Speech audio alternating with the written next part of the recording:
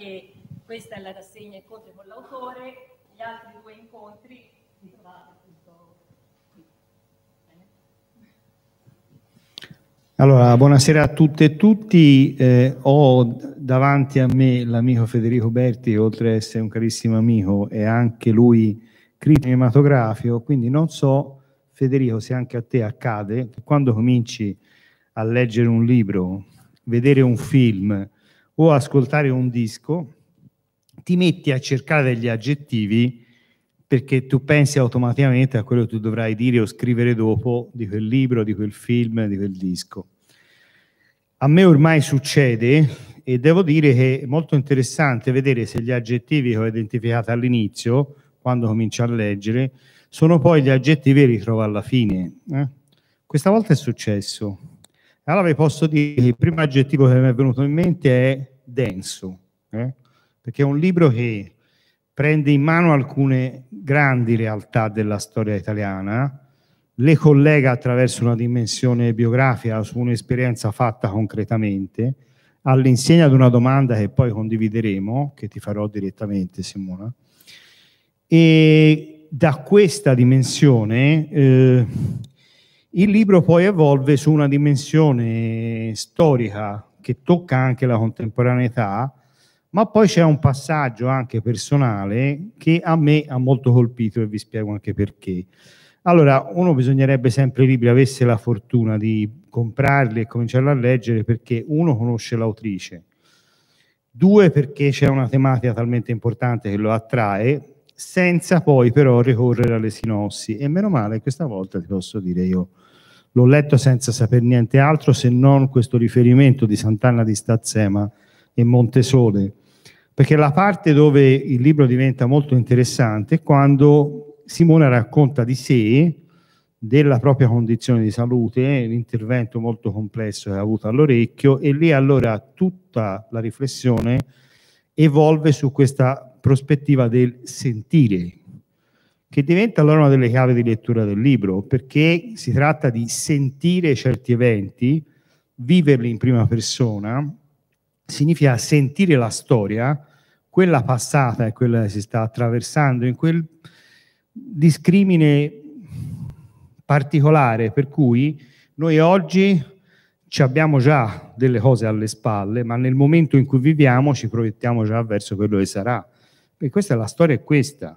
E noi spesso si pensa che la storia con l'S maiuscola non tenga conto della nostra storia con l'S minuscola e delle altre storie delle persone comuni. Invece questo è un libro che partendo appunto da, da alcune vicende particolari su cui poi mi soffermerò, entra anche sulla storia personale. E allora, proprio a livello di condivisione di storie, perché questa è stata una sorpresa notevole nel leggere questo libro? Perché eh, io da ottobre 2020 ho una diagnosi di linfoma non Hodgkin follicolare, per ora indolente, niente di paragonabile a quello che hai vissuto te, perché i, i interventi chirurgici sono interventi chirurgici e lo racconti molto bene, quindi c'è proprio un'idea della fisicità necessariamente violata, però insomma comunque c'è un'idea forte del, dell'idea che insomma, tu hai un'integrità che in qualche modo viene messa in discussione, che devi ripensare.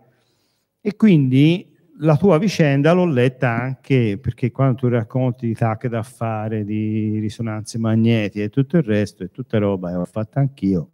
Io in prospettiva ho qualcosa di molto diverso da quello che hai vissuto te, ma insomma comunque per dire che è bello quando in un libro trovi il racconto di fragilità affrontate, non necessariamente risolte, anche se insomma vederti così significa già capire che certe cose le hai risolte, e capire insomma che la vita è anche questo, e anche attraverso questi passaggi si fa la storia.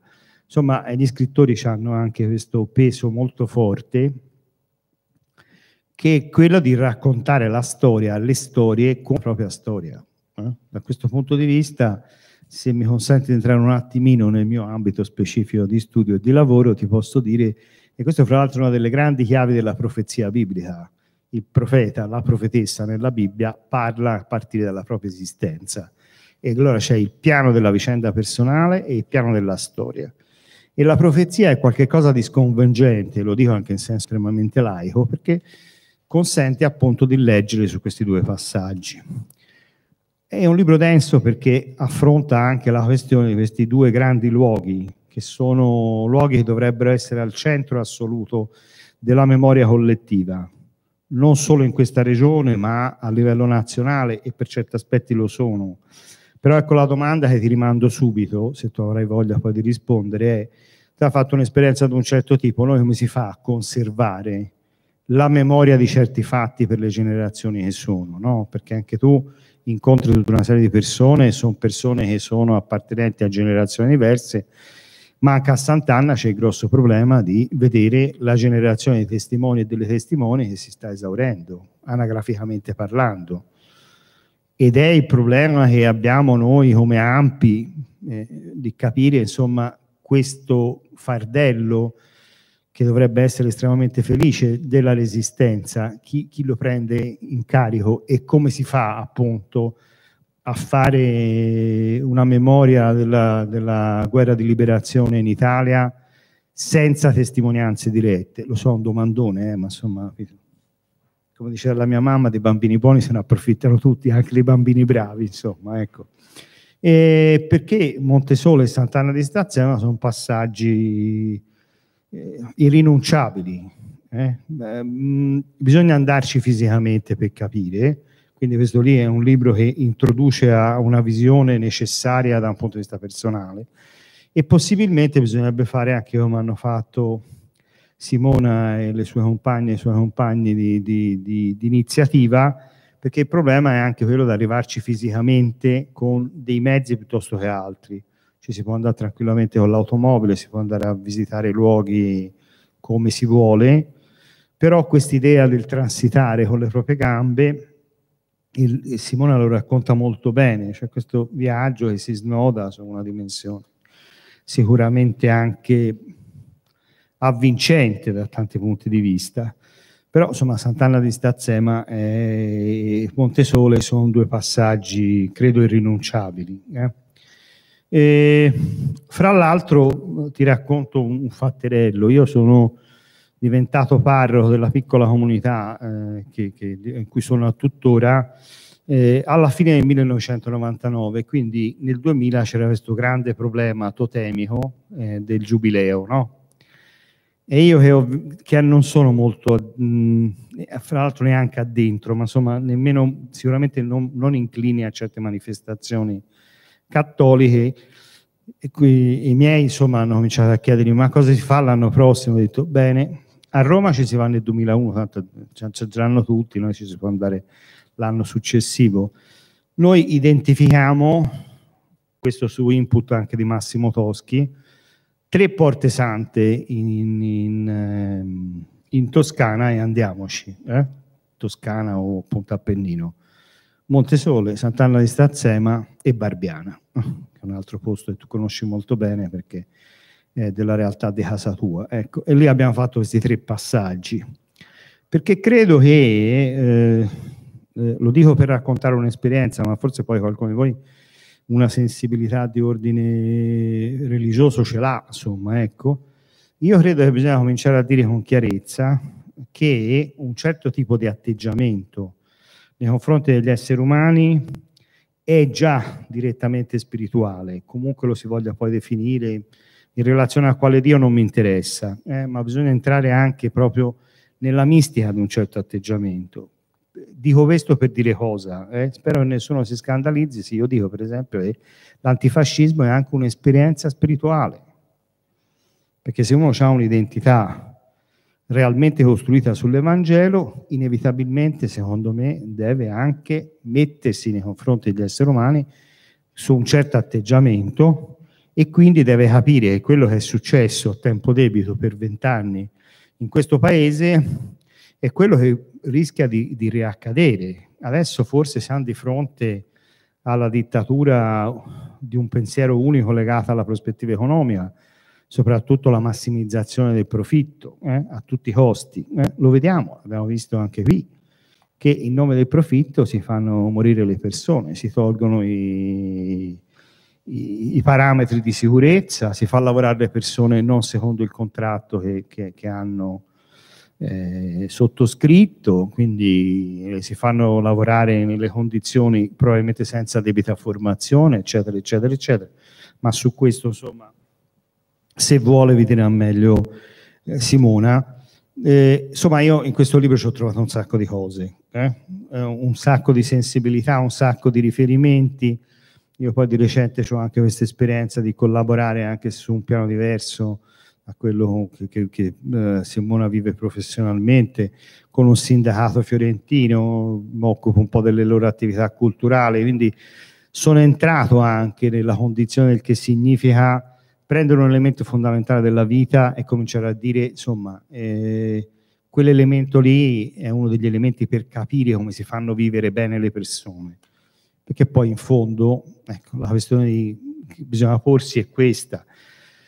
Ci sono dei luoghi eh, che si possono visitare, mi viene detto incontrare, e sono dei luoghi in cui ci si è dimenticato del valore delle persone, anzi lo si è negato in maniera clamorosa e allora bisogna andare a, capire perché questo è accaduto, che tipo di ideologie sono state lì in atto e constatare che queste ideologie poi continuano a essere ben presenti purtroppo nella sensibilità e ahimè anche dei più giovani, quindi ancora si ritorna al problema di come si fa a muovere una sensibilità eh, senza un'esperienza diretta, insomma, no? Qui eh, c'è qualcuno, un sacco di, di, di, giovani dicono di essere fascisti o addirittura di essere nazisti, ma con quale riferimento d'esperienza?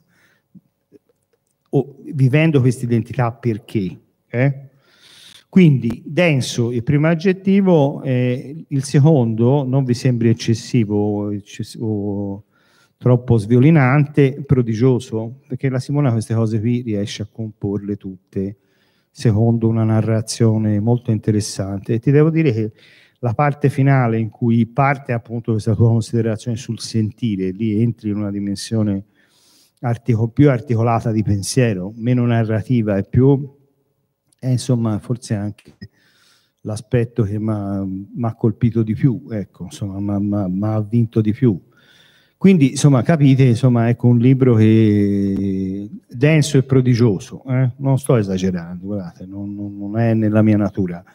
È un, un, libro bello perché appunto è un libro che poi, fra l'altro, ribadisco, torna a parlare di cose necessarie, perché noi questa dimensione della nostra storia dobbiamo riassumerla fino in fondo perché bisogna decidere nel capire la storia e anche nel viverla da che parte vuoi stare, se vuoi stare dalla parte di chi eh, usa violenza o se vuoi stare dalla parte delle vittime. Eh? E questo, se volete, insomma, è un elemento fondamentale su cui poi mh, bisogna imparare a valutare le persone.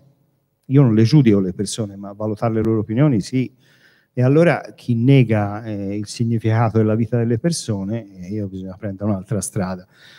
Ma questo lo diceva il mio filosofo di riferimento, che ha scritto a tempo debito un libro che è tornato di moda nell'anno scorso, perché la peste di Albert Camus, tutti l'hanno citata per questo discorso della pestilenza e tutto il resto, ma vi ricordo che la peste in realtà colloca storicamente su una dimensione ben diversa, cioè Camus racconta la lotta contro il fascismo, contro il nazismo, la seconda guerra mondiale, che cosa ha significato appunto eh, contrastare quella pestilenza. E quando lui dice, fa dire a un personaggio che è Rie, dice, insomma, qui la morale è molto semplice, no? Nella storia ci sono flagelli e vittime e bisogna eh, sforzarsi, per quanto è possibile, di essere dalla parte delle vittime contro i flagelli. Eh? Ti faccio l'osservazione finale. Ecco. Io questo libro qui ho sentito il respiro della scelta di stare delle, con le vittime contro i flagelli. È il complimento migliore che ti posso fare. Grazie Andrea della eh, tua lettura e insomma mm, mi colpisce molto, sono anche un po' emozionata perché si ritorna in presenza, no? dopo tanto tempo uno vede le persone, si ascolta, si confronta. E, mh, ah, mi ha lanciato tanti, tanti spunti, vediamo se, se, riesco a prenderne qualcuno. Intanto i due luoghi, cioè che parte dal, eh, da questo cammino, cioè Montesole e Sant'Anna di Stazzema. Sono eh, due capitali morali, no? Alla fine mh, sono state così colpite duramente nell'estate del 44, poi, no? Uno immagina sempre, c'è un'idea dell'estate tutta, tutta sua, no? Come la stagione migliore in cui usciamo, in cui anche come corpi ci liberiamo di tanti fardelli, tanti pesi. Eppure queste persone stavano eh, lungo l'Appennino in due luoghi, comunque ci avevano cercato un rifugio, perché questi posti erano molto popolati proprio in quell'estate lì, perché si proteggevano dalla guerra. Quindi doppiamente violati, no? Perché uno mh, mm, non stava, si era anche staccato dalla città, si era staccato anche dalla eh, costa, si era staccato da, da, altre parti proprio perché si pensava che lì no, non arrivasse la guerra, non arrivasse l'orrore, non arrivasse eh, queste, queste terribili stragi. Eppure sono state le stragi più grandi anche se poi diciamo l'Appennino, ma tutta l'Italia ne è stata costellata proprio da, eh, dal 44 fino alla liberazione e, e forse anche un po', eh, un po dopo come, come strascico. Lo strascico è durato tantissimo e per tanto tempo questi luoghi di cui sapete insomma, sicuramente sia i numeri sia l'efferatezza perché ci sono stati libri, film, eh, documentari, diciamo che questa storia è diventata poi piano piano patrimonio, però per tanto tempo sono stati abbandonati e per tanto tempo di questi luoghi non se ne è voluto sentire parlare. Eh, ci, le persone proprio si sono dovute staccare da quell'orrore perché il luogo ricordava solo sofferenza e solo eh, l'orrore. Quando è che piano piano si è potuto, perché io faccio questa considerazione, se ho potuto camminare lungo quei luoghi lo devo poi a chi ci ha liberato e quindi eh, la, dalla storia dal 25 aprile del 45 in poi, eh, però per arrivare da quella liberazione al racconto di quello che era stato bisogna aspettare fino agli anni 90 e poi fino ai processi del 2000, no? quando poi i testimoni hanno potuto piano piano raccontare, cioè quando c'era qualcuno che poteva ascoltare, che era disposto ad ascoltare eh, e, e, anche a rimettere a posto questi racconti, cioè a trovargli una, eh, una, una giustizia. Eh, e questo è avvenuto nel tribunale e è avvenuto piano piano nelle vite individuali di queste persone, perché tanti hanno rifugito. Eh, dentro questo libro c'è l'incontro soprattutto con uno dei eh, superstiti che è Enrico Pieri di Sant'Anna di Stazzema e che lui per una vita eh, è emigrato in Svizzera, ha, ha, lavorato là, se n'è proprio eh, completamente staccato, anche se ogni anno tornava a Sant'Anna, però eh, in una cosa molto intima, solo sua, lui ha perso tutto, ha perso i genitori, ha perso i nonni, ha perso gli zii, gli era rimasto un unico zio che aveva poi sepolto tutti. E lui solo dopo molti anni conoscendo anche la sofferenza del lavoro, dell'emigrazione, del fatto di doversi confrontare paradossalmente anche con una lingua di cui rigettava le basi, che vi potete immaginare di sentire il tedesco, no? chiunque ha avuto dei racconti, mia nonna quando gli ho detto che alle scuole superiori studiavo tedesco mi si è allarmata, no? come? Perché ti avvicini a quella lingua, no? come se eh, una lingua e un popolo fosse poi responsabile di tutto. Ecco, anche lui ha avuto questo percorso di elaborazione e di racconto e da lì, soltanto dopo il racconto, soltanto dopo l'accettazione che un racconto individuale diventasse anche collettivo e le persone eh, lo potessero ascoltare, intanto anche credergli, essere riconosciuto come questa sofferenza e trovasse un posto nella giustizia, lui ha, ha potuto diventare testimone e ha potuto e ha voluto eh, dar mano al Museo della, della Storia e della Memoria a Sant'Anna, ha iniziato ad andare nelle scuole e raccontare, Cioè ha dovuto fare tutto questo cammino durato decenni per poter collocare una storia personale e un dolore personale in una memoria collettiva. Quindi sono processi anche molto lunghi, molto dolorosi e molto impegnativi. Tra l'altro lui ha un figlio che ora insegna eh, all'estero, che conosce quattro lingue e quando ha dovuto scegliere la scuola da fare fare al figlio in Svizzera voleva che studiasse bene il tedesco, che si appropriasse di una lingua e questo Enrico Pieri ha lottato molto anche per portare eh, le istituzioni tedesche a Sant'Anna, per riportare gli studenti tedeschi, per, eh, come dire, ragionare di Europa. E ragionare di Europa quando magari qualcuno gli diceva perché chiami il nemico? perché eh, porti lui quando noi siamo ancora offesi, no? Eh, quando ancora non ce la facciamo. Eh, mi ricordo molto bene mh, i racconti di quando, perché eh, sto lì e quindi quando hanno inaugurato il cimitero germanico della Fusa sopra Barberino e naturalmente quelli di Montesole vennero a protestare. Eh, perché come si poteva, dopo quello che c'era stato, no? e senza collocare, e senza avere una giustizia, e senza capire come erano andate le storie, accettare che il nemico trovasse sepoltura. Bisogna anche capire che ci sono dei, dei, dei processi dell'affrontare il dolore molto, uh, che, che, ci vuole del tempo.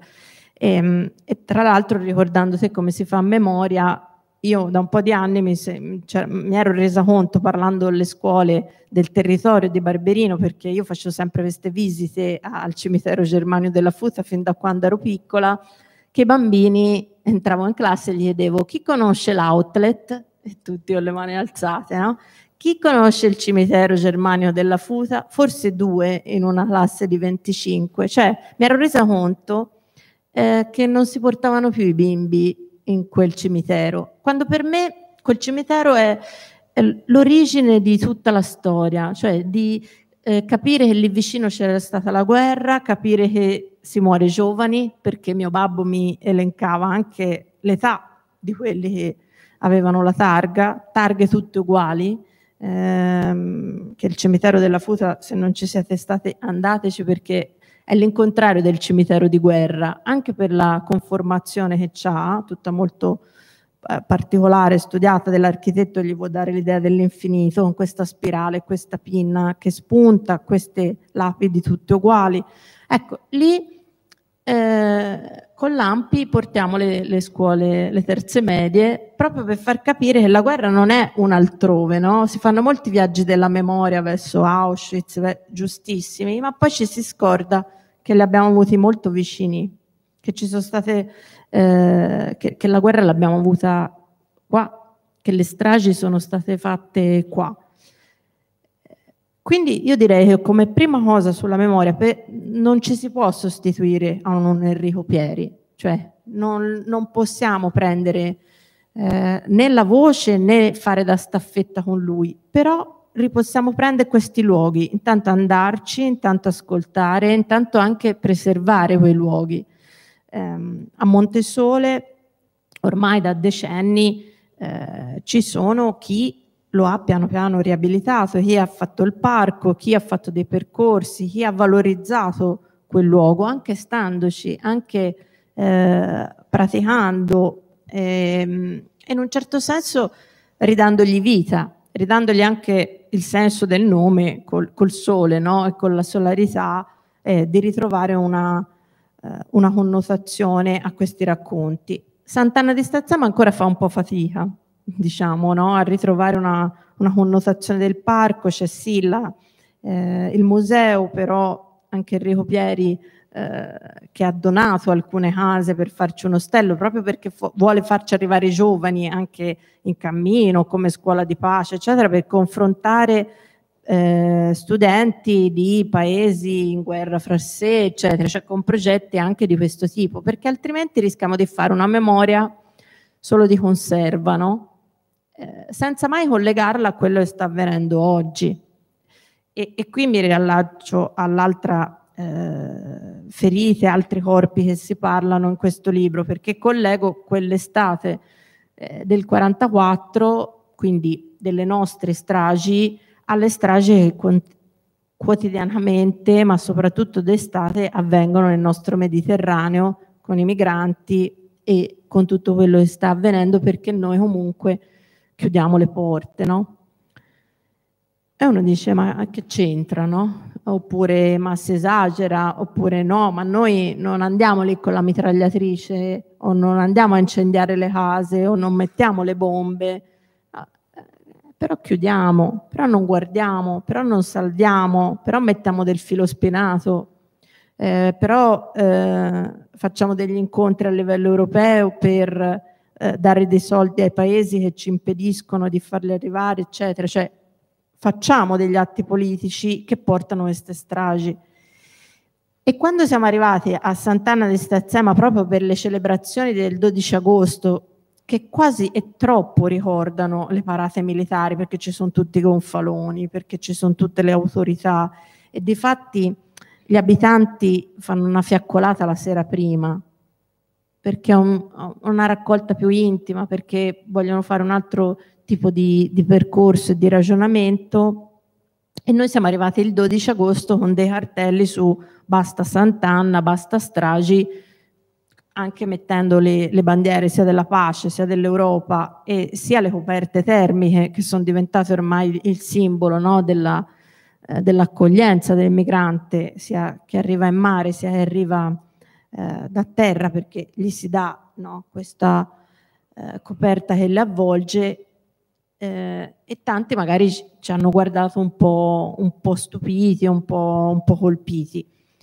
Eh, si fa memoria anche quotidianamente battendosi per, perché rimanga questa memoria, cioè perché rimanga l'azione di impedire che questo avvenga di nuovo, perché altrimenti sono eh, coccarde o stendardi che ci si mette all'occhiello per un giorno eh, come fosse una, un piccolo marchio, no? E poi però non c'è niente dietro.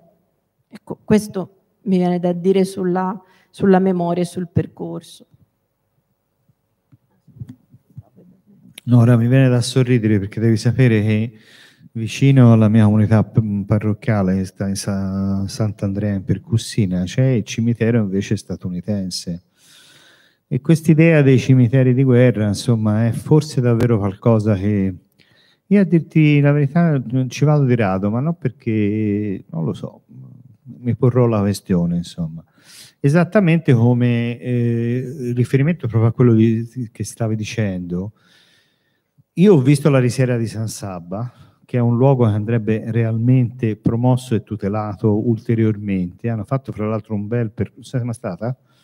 Hanno fatto un, una bella costruzione, c'è anche un'installazione artistica che rappresenta insomma in qualche modo il fiume delle persone che va verso il crematorio perché a, San Sabba c'è anche il crematorio, insomma.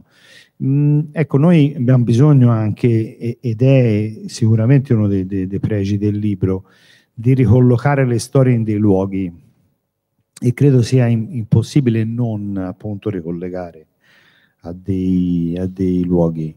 Eh, ti, ti, faccio una domanda anche abbastanza personale perché eh, tu dici che il modo con cui saluti le persone di solito è insistiamo che è una cosa molto bella. Eh, allora, ora, siccome Pareson diceva che in fondo la filosofia, la filosofia, si fa a partire da una domanda sola, quando uno l'ha identificata la parola lì, poi magari gli serve per pensare anche a rompere le scatole agli altri, insomma. Eh, quindi ti faccio una domanda che sto facendo a diverse persone, poi ti dico in particolare una, la persona a cui l'ho fatta, che mi ha dato forse la risposta migliore. E ti viene mai il sospetto che non, che non ce la facciamo, che vincano quest'altri, che vincano, scusate, ora la rozzezza ideologica, ma insomma, che vincano i fascisti, che vincano i padroni, quelli peggio, che vincano... Ah, beh, tutti i giorni praticamente. Ehm, sì, poi mi viene in mente sempre il video di, del partigiano Pillo no? a Firenze, di quando lo incontrarono per i social forum e c'è quel bellissimo video fatto eh, Lungarni, no? Che quando dice ma c'è verso, perché alla fine eh, cioè, queste idee sono troppo più, più belle e più intelligenti. Se un nei tocco le nei tocco e mezzo si vince noi, no? Eh, mi viene in mente sempre lui perché questa, eh, se uno non ci avesse un po' quest'idea mollerebbe, mollerebbe. Mm, l'insistenza eh, che cito sempre è perché alla fine ti rendi conto ed effettivamente quando fai anche un cammino di gruppo, quando ti prendi il tempo eh, giusto per ascoltare, per condividere con gli altri, eh, ma da un panino a una borraccia d'acqua, quando sei in una difficoltà perché magari quel momento lì ti ha preso il fiatone e non ce la fai, cioè, che è più, che è più umano, che è troppo più bello quando c'è un aiuto reciproco, no? Eh, che, nella, che, nella, sofferenza, nella sopraffazione, eh, nell'impedire eh, di parlare, di raccontare, di, di, agire o nell'arroganza. Insomma, in tutto questo non c'è quel respiro lì, non c'è quella condivisione lì. Quindi l'insistenza c'è per forza, ma ehm, è anche una, una, curiosità, una vita. Cioè io vedo che le, le vite anche di chi si impegna, le, ehm, non è arriva a dei punti di, di, di, conoscenza, dei punti di condivisione, forse un po' come dicevi tu, no? anche a un livello spirituale o comunque un, dei livelli alti che puoi raggiungere con gli altri che, che da solo non c'è, che, che, nella sopraffazione non c'è.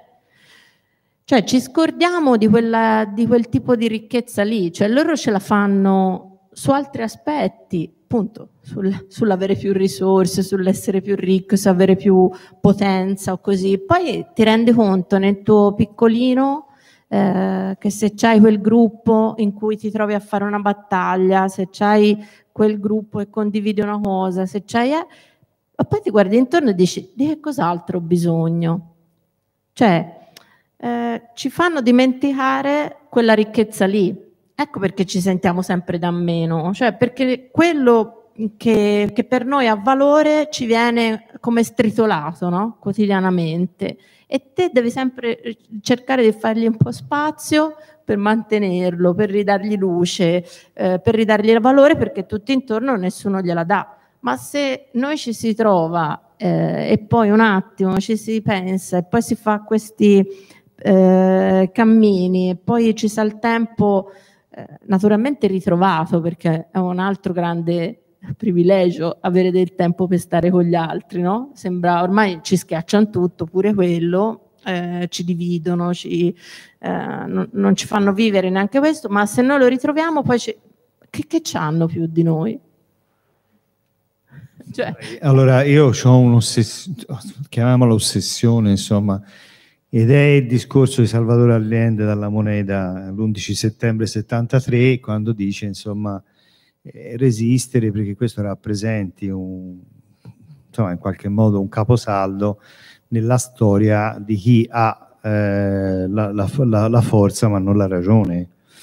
Però ecco, di fronte a tutti i passaggi di genocidio della storia, mi permetto di dire anche di fronte a i bombardamenti a Gaza, cioè nel senso queste cose che vediamo ordinariamente in una mistificazione o comunque in una semplificazione del sistema di informazione italiano da fa paura, veramente. Ecco, allora l'idea di fondo è che veramente tu hai sempre l'impressione che la storia sia anche troppo segnata da vicende appunto de, de, dell'annientamento di chi aveva la ragione ma non aveva la forza e questo un pochino si vede sono un po' più vecchio di te Simona evidentemente, ma è bene così.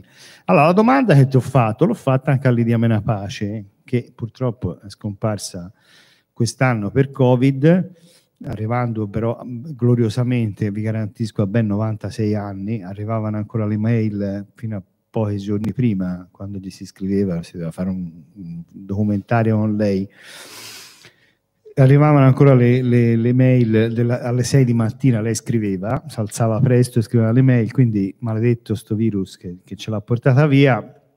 Io la prima volta l'ho intervistata, poi l'ho rintervistata successivamente per un documentario e, ehm, che mi ha prodotto lo SPCGL di Toscano, insomma, che poi non l'ha fatto girare e me ne dispiace molto. Io gli feci la stessa domanda, ma ti viene mai il sospetto che non ci si faccia, no? che vincano gli altri? E lei mi rispose, sento un po' a pensare, poi mi rispose, pensa a noi, eravamo rincitrulliti da vent'anni di fascismo, eravamo divisi fra di noi, mal attrezzati, e avevamo davanti l'esercito più forte del mondo. Se ce l'abbiamo fatta noi, può, può farcela chiunque. Io con quella risposta lì sono andato avanti. No, ma ci vado avanti ancora. E mi piglia sempre i bordoni quando mi commuovo sempre quando lo racconto, perché insomma la Lidia poi era, era questo, insomma, no? a tanto titolo. E, ehm, sì, eh, ok, infatti, va bene. Insomma, si, si, si, si, dicono queste cose, si condividono queste cose anche veramente per, per, eh, per insistere. Eh, eh, mi piace questo modo che hai di, di, di, di, salutare, insomma, perché credo sia molto importante. Che dici questa cosa di Lidia Menapace, vabbè, è bellissima e che ci si deve portare dietro, però mi fa riallacciare anche un altro ragionamento no? Mm, sulla memoria no? e su chi la tiene su chi, e, e, su chi anche la può portare addosso, perché mm, faccio anche molto una riflessione su spesso dire ma eh, in tante tanti non ce l'hanno questa memoria, non la tengono, perché è anche un po' eh, faticoso, no? È anche un po' ehm, tosto, cioè andare in questi posti, sia a Montesole, sia a Sant'Anna di Stazzema, non è, non è banale. Eh, ascoltare queste storie e tenersele addosso non, non è scontato. Mm, non si può dire alle persone ah andate là e starete bene, no? Completamente o si fa una passeggiata, così come l'impegno, la militanza non è mica semplice, non è leggero. Cioè, tante vite, e se ne parlava anche prima, o alla sindacalista, ma qualsiasi impegno che ci sa, eh, diciamo politico, militante o collettivo, non è banale, anche chi fa volontariato non è banale, non è scontato, perché ti porta via tempo, passione, cioè questa insistenza è eh, un impegno, cioè quando si dice un impegno è, è veramente un impegno, no? Quindi di, racconteremmo delle favole eh, se dicessimo che non c'è dietro questa fatica. Però proprio dietro a questo bisogna anche dirci che questa memoria, questa cosa che va tramandata, bisogna anche, come altre cose, redistribuirla. Perché alla fine, se no, ci troviamo io, te e, e chi siamo qua a essere poi considerati di nuovo dei, dei privilegiati che possono avere memoria, no? Mentre magari altri che a quest'ora sono ancora nei capannoni o sono ancora per le strade a lavorare o sono, eh, no, non hanno modo di eh, confrontarsi, di ascoltare delle storie, di prendersi del tempo, sia per la lettura, sia per andare a farsi una camminata, sia per prendersi un pezzettino di memoria. Eh, perché spesso no, si sente dire ah vabbè le persone non ci vogliono andare in questi posti, vanno ai centri commerciali, vanno a fare gli acquisti, vanno, eh, la gente vuole leggerezza, no? Vuole, non ci vuole pensare alle tragedie, alle stragi, eccetera. Ed è vero. Cosa c'è in questo? C'è, c'è un, un'umanità, perché se io magari lavoro 16 ore al giorno, poi ho anche voglia di ascoltarmi delle stragi nazifasciste, poi ho voglia anche di prendermi un pezzettino in più della fatica degli altri o del, eh, dell'aiutare gli altri. Forse devo migliorare prima delle condizioni materiali a giro per pretendere che, che, anche loro si portino addosso un pezzetto di memoria. Cioè questo ragionamento sulla memoria non si fa mai, no? Come se fosse una cosa che uno ce la deve avere di serie e se la deve portare addosso. Ma chi lo dice? Non funziona così, non è così. E si rischia, se no, veramente diventi eh, un patrimonio per pochi.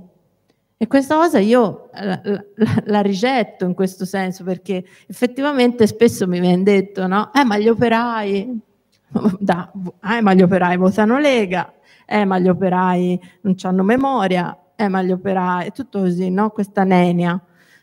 Eh, però, cioè, a queste persone cosa gli stiamo levando? di, di, del peso delle, della vita, della fatica, dell'andare avanti. Eh, cioè, la memoria ha bisogno di spazio, ha bisogno di ascolto, ha bisogno di tempo, ha bisogno di elaborazione, ha bisogno di cultura.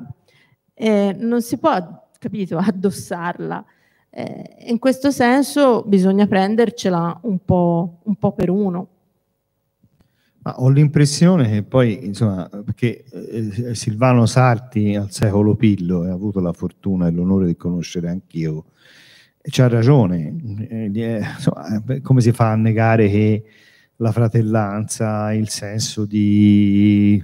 Vabbè, partiamo da libertà, eh, egualità e fraternità. Eh? Eh, ragionavo stamani con degli amici, effettivamente se eh, toglie la fraternità, è quello che forse stiamo perdendo ora in questa fase, la libertà rischia di essere un grosso problema perché va a scapito della giustizia, dell'uguaglianza. Quindi bisogna ricominciare a costruire veramente delle comunità. Questo è un altro passaggio anche molto bello.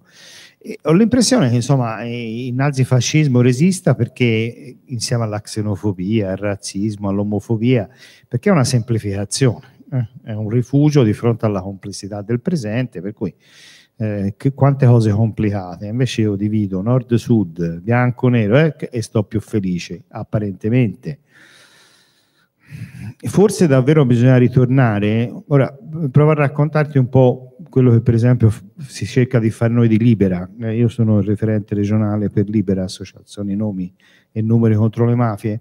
Cioè, quando si va a parlare con i ragazzi bisogna partire dal perché questa cosa vi interessa? Vi interessa perché questi stanno attentando alla qualità dell'aria, dell'acqua, di quello che mangiate, perché per il profitto sono disposti a fornirvi delle sostanze pericolose, eccetera, eccetera, eccetera, che questi attentano alla vostra esistenza. Allora bisogna cominciare a dire appunto che le stesse logiche che producono eh, razzismo, xenofobia, eccetera, eccetera, sono le stesse regole che poi tradotte sul mercato producono lo sfruttamento, il fatto che non abbia più spazi per vivere eh, adeguatamente, ti sottraggono delle risorse sulla salute, sulla scuola, e quindi ti immobilizzano socialmente dove tu rischi di rimanere per sempre, insomma, no?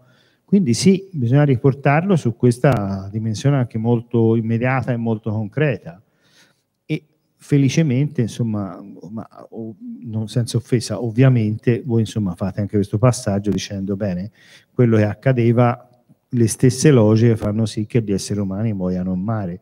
Ah, il problema è sempre quello solito, insomma, no? umanità di serie A e umanità di serie B, ma è, forse è il primo passaggio, la fraternità appunto. Si può godere del pubblico in sala, quindi si può anche chiedere se qualcuno ha delle, delle domande, ci farebbe molto piacere, insomma, ecco.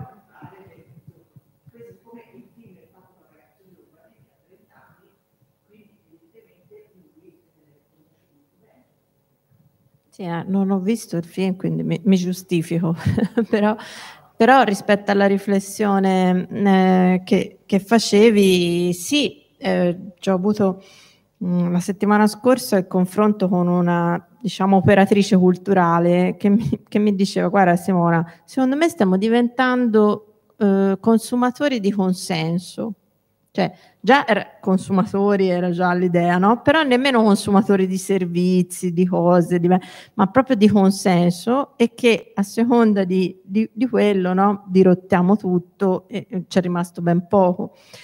Però mi viene da dirti, come si diceva della memoria come, come peso e orpello, anche valori spesso si sono detti e definiti come una roba di cui disfarsi, no? Perché a che pesantezza, cioè, a che, eh, che, fatica, no? Bisogna essere più, più rapidi, bisogna eh, fare, eh, come dire, anche, anche politicamente, no? Ci vuole un'organizzazione snella, un pensiero eh, che si adatta perché cambiano i tempi, perché, insomma, quindi eh, la memoria e i valori come qualcosa, no? Che, una zavorra, delle zavorre che non ci fanno andare avanti. In realtà eh, sono energie, sono motori, sono spinte. Eh, certo che bisogna guardarle anche con, con occhi diversi, studiando o, o eh, approfondendo cose no, perché cambia continuamente. Eh, però ecco, si è buttato via un, un po' tutto insieme e, e, forse ci si ritrova eh, appesantiti dall'altro lato, ma eh, senza, senza bussola, no? Un po' come quando dici, vabbè, un bagaglio. È vero che quando vai a camminare devi fare leggero e necessario, però leggero è il necessario, cioè il necessario ci vuole, eh, se no quel peso lì, cioè no, no, come dire, è vero che non deve avere questo, questo peso che, ti, che non ti fa camminare, ma allo stesso tempo deve avere il necessario per muoverti e forse si è buttato via anche il necessario eh, come fare? Eh, sono tanti punti, eh, insomma, punti interrogativi ancora. Eh, sicuramente quello che mi sono interrogata anche in questo libro e con la camminata, eh, perché tante cose sono state anche, è vero, distrutte, perse di senso e tutto quanto, è riscoprire il, il fare insieme, ma riscoprirlo davvero, cioè eh, ripartire da, dalle basi, ripartire dall'ABC, del, del, del, provare davvero a fare qualcosa con, con, qualcuno e non in solitario, perché a volte anche io quando dico insomma insistiamo così, però ora dico molto più insistiamo che insisto, cioè, perché insistere da sola c'ha sempre meno senso e se lo fa con qualcuno eh, c'ha un senso in più. E questa cosa di si è perso un po' proprio l'abitudine del fare con, con gli altri. Questa cosa di fare un cammino eh, te la riporta eh, alla mente proprio perché uno ti dà una, un'indicazione, un altro una dritta, c'è il passo anche degli altri. Insomma, bisogna un po' rimparare a fare questo, ma dalle cose più semplici, eh, non eh, c'è da fare partito, cioè, c'è, da fare anche tante altre cose prima, se non altro anche, anche questa, di, di, provare a rimparare, di cercare di essere e di, mh, mm, eh, come dire, dare vita a una curiosità che ci, che ci muova a provare, provare, fallire, riprovare. Faccio due citazioni al volo. Eh, eh, Camus in un libro straordinario si, intitola L'uomo in rivolta sintetizza in questo modo mi rivolto quindi siamo eh? cioè nel senso se io comincio a rivoltarmi personalmente poi creo collettività, quindi questo insieme forse bisogna lavorare. E io lì mi chiedo eh, se, come mai sia sparita l'empatia a questo livello dal contesto sociale a cui apparteniamo. Voglio citare anche un film, un film famoso perché ha vinto un sacco di premi, ha vinto il Leone d'Oro, ha vinto diversi Oscar. A me eh, Nomadland è molto piaciuto, mio amico Federico molto meno, e sarà che io, guardate, non ho, con l'età uno poi perde anche i freni inibitori, io ho cominciato a piangere all'inizio e ho smesso alla fine, perché l'idea che ci sia la gente che debba vivere in questo modo, però per dirvi che, qual è l'approccio, forse tu l'hai letta per la Ritian Sosi, eh, il critico cinematografico di un giornalaccio, secondo me, nessuno si offenda, che non voglio citare, che è libero, dice, ma siamo sicuri che vedere Francis McDormand che, fa, che fa i suoi bisogni in un secchio sia arte? Eh sì, scusate, eh? Eh sì, perché l'arte vera non è la perfezione delle esistenze. L'arte è la rappresentazione di quello che le persone sentono, di quello che le persone possono sperimentare. Allora, secondo me, in questa fase storica noi siamo davvero di fronte a una carenza di empatia, quindi sono perfettamente d'accordo con te. Eh, signora, lei diceva, fasci- lei diceva dice, non sono antifascisti, ma non sono nemmeno fascisti. Però il conterraneo per, ele- per elezione, per scelta della Simona, diceva un fascisti e dieci qualunquisti fanno undici fascisti. Don Lorenzo Milani. Guardate, questo è quello che stiamo vivendo adesso, eh? perché ne basta uno per far diventare molti fascisti a loro volta se c'è qualunquismo. Prego.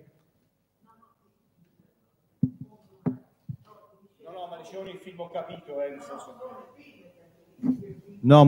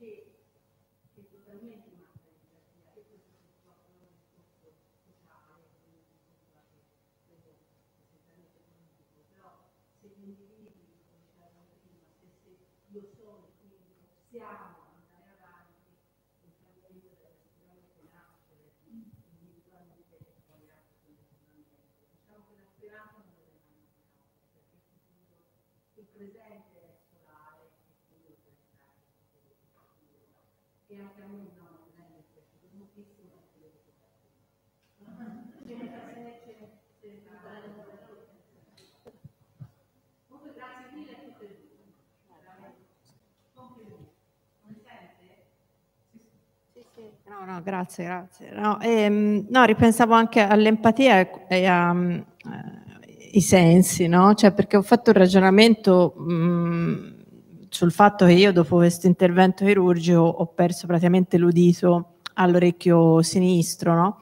E, e, su questa cosa poi mi sono interrogata, documentata, naturalmente uh, un po' di tempo dopo, e ho scoperto che stiamo perdendo umanamente un sacco di sensi, cioè stiamo diventando tutti più ciechi, stiamo diventando tutti più sordi, eh, stiamo avendo problemi di, di gusto, di olfatto, cioè eh, se ci pensate, se tutti questi sensi si stanno riducendo, si sta ognuno in delle bolle, no? sempre più, più chiusi, sempre più meno ricettivi con l'esterno, cioè, perché se questi sensi si indeboliscono, eh, capite bene che mh, mm, abbiamo meno eh, contatto con, con l'esterno, no? da tutti i punti di vista. Eh, questa cosa mi ha, mi ha, molto colpito, no? eh, che, che, è proprio una roba mm, nel mondo, cioè eh, che si diventa sempre più miopi, che si diventa sempre più... Eh, abbiamo sempre più problemi legati anche al gusto perché poi c'è l'obesità, tutte le malattie correlate, insomma eh, questo indebolisce anche l'empatia, cioè eh, paradossalmente. E, e, allora facevo una riflessione, mentre ci stiamo indebolendo su tutto questo, eh, forse bisognerebbe riscoprire, un po' come ci diceva Galeano e anche Gianni Rodari, il senso dell'utopia, no? Perché magari mentre ci indeboliamo con tutti eh, questi altri sensi, che acquisti questo valore e questa cosa come se fosse un senso da, eh, veramente da attivare, da tenere sempre, sempre acceso. E in questo forse si è, si è, molto indebolito negli anni insieme agli altri sensi, anche trascinati dagli altri sensi che abbiamo fisicamente, ma riscoprendo questo forse possiamo trovare eh, la compensazione anche agli altri sensi mancanti.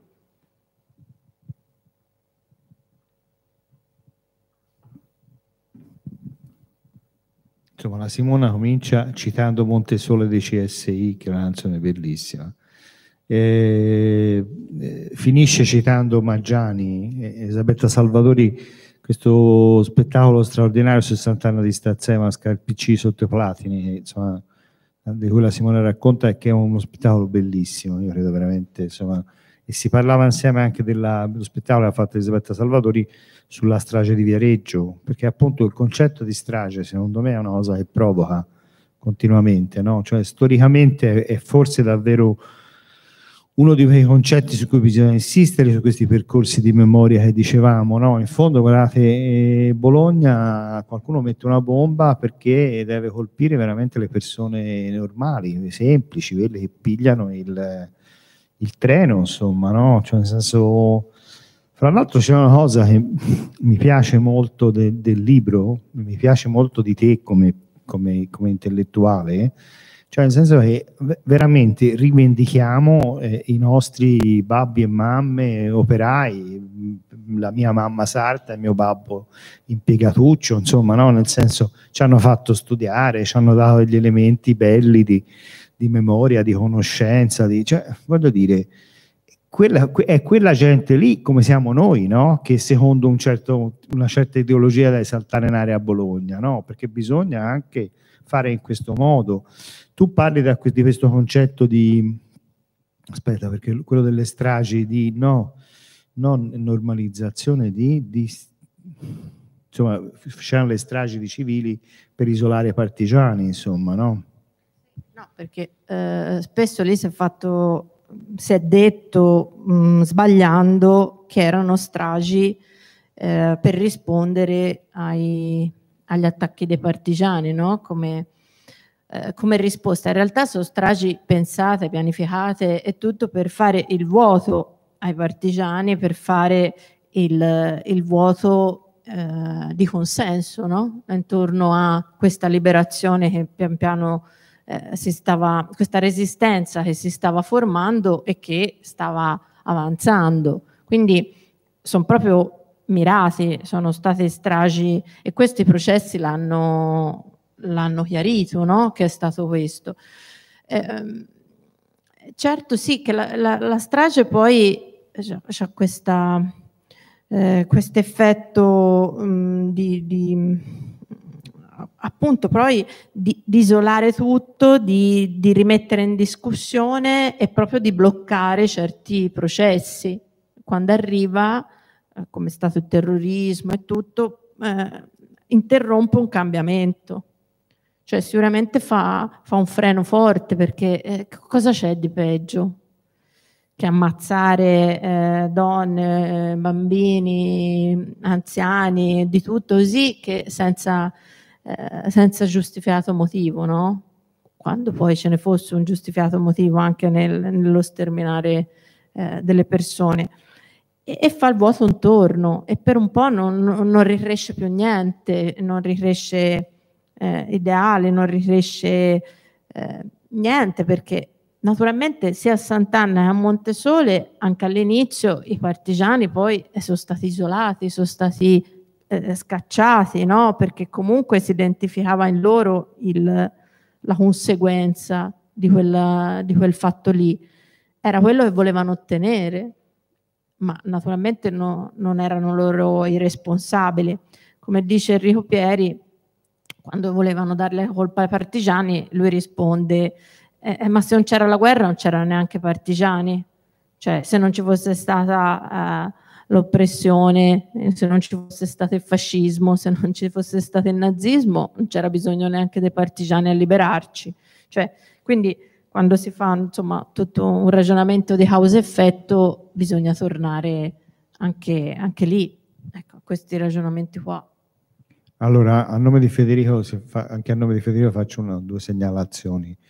Allora, uno è su un film purtroppo brutto su Sant'Anna di Stazzema, nonostante Spike Lee sia un ottimo regista, però quel film lì è proprio bruttino, l'ha visto? È proprio brutto. Mm, fra proprio brutto. Sono rimasti male anche loro, me l'hanno sempre detto, la sua Sant'Anna e tutto il resto. Mentre invece L'uomo che verrà di Giorgio Diritti, quello è un gran film, secondo me ha capito anche alcune cose, poi fra l'altro lui l'ha scritto a partire dalle querce di Montesole, che è questo libro molto bello sulla memoria, storia delle comunità eh, che sono state annientate a Montesole, no? Quindi insomma eh, io lo, ho avuto la fortuna di presentargli il film, eh, ci ha raccontato delle cose molto belle al di là di tutto. Insomma.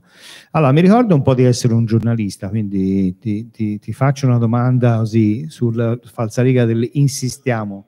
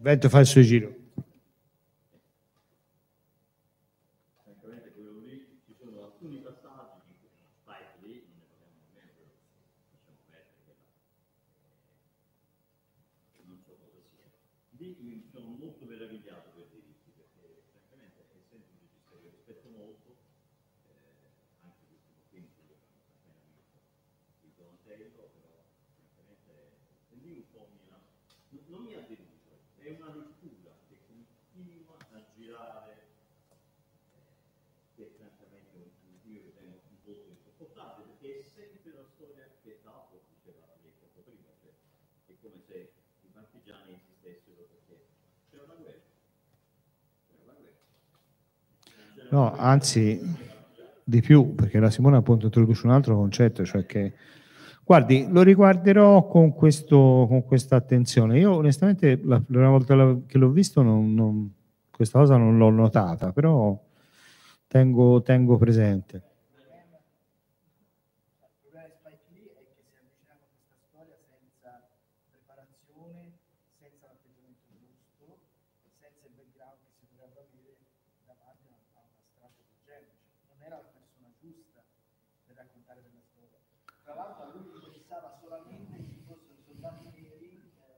I, i Buffalo Braves, insomma.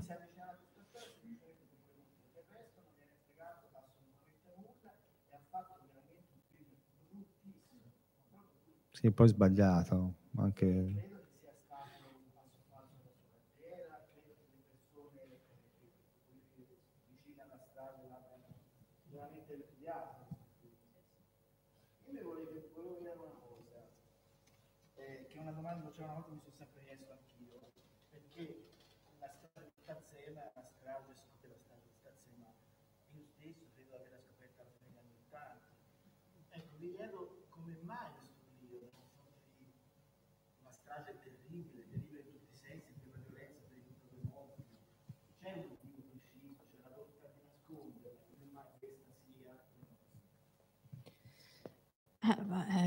la storia è proseguita, no? Cioè, anche nel nostro paese. E sapete tutti del famoso armadio della vergogna, eh, dove praticamente erano più di 600 i fascicoli, perché gli americani del nostro paese l'avevano raccontata, eh, quando si dice il racconto, no? E, e, e, in quei fascicoli sono stati per anni chiusi e per anni accantonati perché poi nel frattempo c'era altri equilibri, c'era una guerra fredda, eh, c'erano altri equilibri europei e, e l'Italia l'ha tenuta nasco- cioè, per lo più nascosta. Sono stati proprio eh, il tirare fuori quei fascicoli, riprendere eh, quelle storie e soprattutto i processi che poi sono arrivati negli anni 2000. Eh. Quindi quando i, quelli che avevano commesso la strage erano ventenni, poi erano novantenni, cioè erano già oltre l'età del,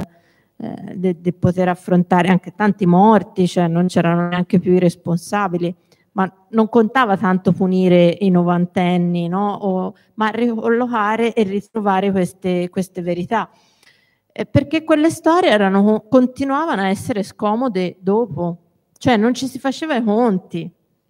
Paradossalmente, se parli con chi fa memoria sia a Sant'Anna di Stazzema che a Montesole, ti dice che ha fatto più un, un percorso di, di memoria e di riconciliazione, la Germania che non noi. Anche delle nostre responsabilità, di tutto quello che c'era dietro, anche perché sappiamo benissimo, soprattutto a Sant'Anna, che ce l'hanno portati i fascisti, i tedeschi, no? che tutta la pianificazione è stata fatta insieme agli italiani, perché chi ci va a Sant'Anna vede che non è un territorio così semplice, no? tanti me lo raccontano, hanno provato ad andarci e si sono anche persi, cioè non è immediato ora, ma pensate che la strada che facciamo ora per andare a Sant'Anna di Sistema è stata fatta negli anni 60, cioè eh, prima era ancora un territorio più, più angusto, più difficile da arrivare e, e si è rimossa.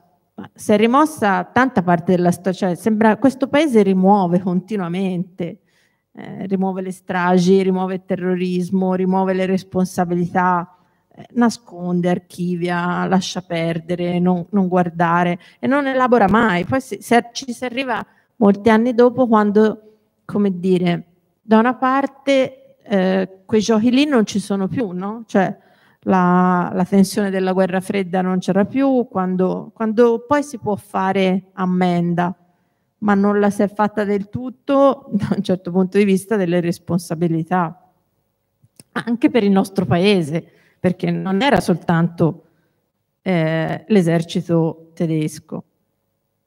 Ecco, e quindi noi, se fosse stato solo l'esercito tedesco, molto probabilmente i conti li avremmo fatti un po' prima, no? perché siamo un po' sempre bravi a dare la colpa agli altri, ma quando poi ci si deve mettere in discussione eh, noi è diverso.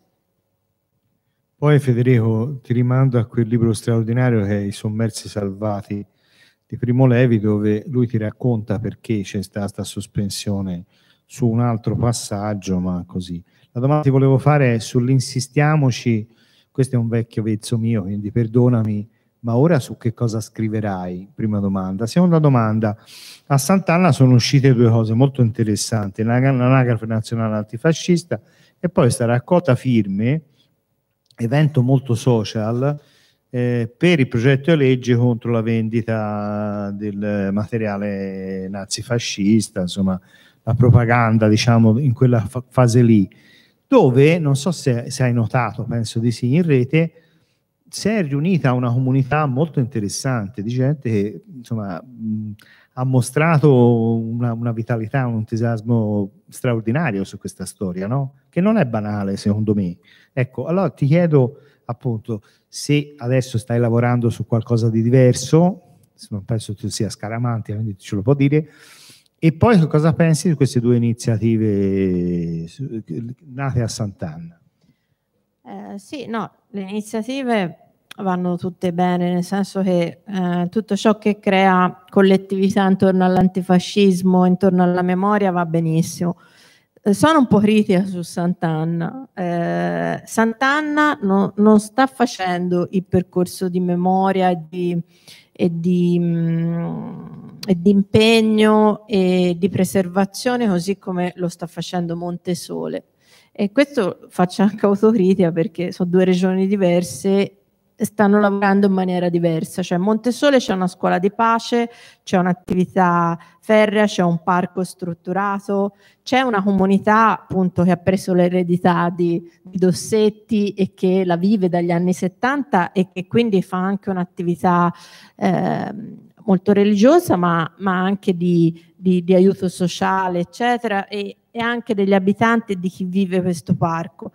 Sant'Anna ha un centro, praticamente eh, un cubo di cemento buttato lì, eh, vuoto, che non, ha, non, è, non, è, per niente attrezzato, non riesce ancora a strutturarlo in modo da avere delle strutture, mh, ma non ricettive per farci il, il via vai, ma per strutturare degli incontri, per dare continuità, per dare memoria.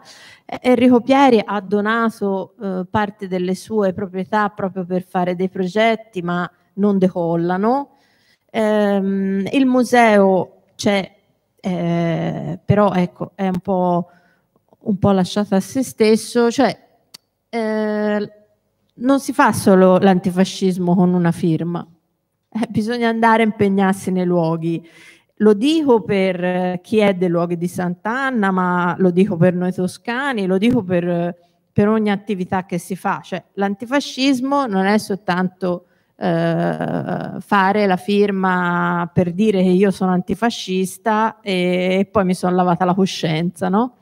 Quei luoghi bisogna abitarli, bisogna proporli, bisogna, eh, come diceva eh, prima, no? portarci le scuole, bisogna far incontrare le persone, bisogna farli vivere, se no sono, eh, cioè ci si lamenta dei cimiteri di guerra, diventano cimiteri di, di memoria, cioè dove no, non viene vissuto niente, perché la memoria ha bisogno di, di essere vissuta, quindi eh, va benissimo tutto, però ci vuole... Mm, alzare l'asticella anche del, de, del, pretendere su questi luoghi di memoria. E, ehm, mh, su quello che scriverò, no, allora spero che entro, insomma, entro la fine dell'anno, perché ci ho lavorato da diverso, diverso tempo così, va su una storia per ragazzi, bambini ragazzi, una favola eh, che si chiama Pietra Pane e il mondo che c'è perché è una bambina che al contrario di Peter Pan vuole, vuole crescere e che invece di eh, scappare su un'isola, eh, invece vuole, vuol cambiare il mondo che c'è. E ci sono i pirati, ci sono sempre insomma queste cose, però diciamo mh, mm, eh, scopre questo eh, equipaggio strano fatto dagli ultimi della Terra e che girano per, come dire, assalire le navi che portano gli armamenti e per fare uno strano baratto alleati con gli insetti. Quindi una favola per bambini e ragazzi spero sì, che... Simona Innocenti, c'hai già l'opportunità di richiamare Simona prossimamente, insomma. Eh? Eh, insomma, avete capito il libro, è bene leggerlo, insomma, tanto titolo e quindi ti si ringrazia per averlo scritto. Un ringraziamento appunto serio perché abbiamo scritto tutti un sacco durante il lockdown, penso, insomma, però non era una cosa così eh, banale insomma, da, da, dire. Insomma, ecco, questo sentire è, è, è, sicuramente ben presente in questo libro, insomma, e, è, è, stato bello leggerlo, ecco, punto, non c'è altro da aggiungere. Grazie, Grazie. a tutti, tutte.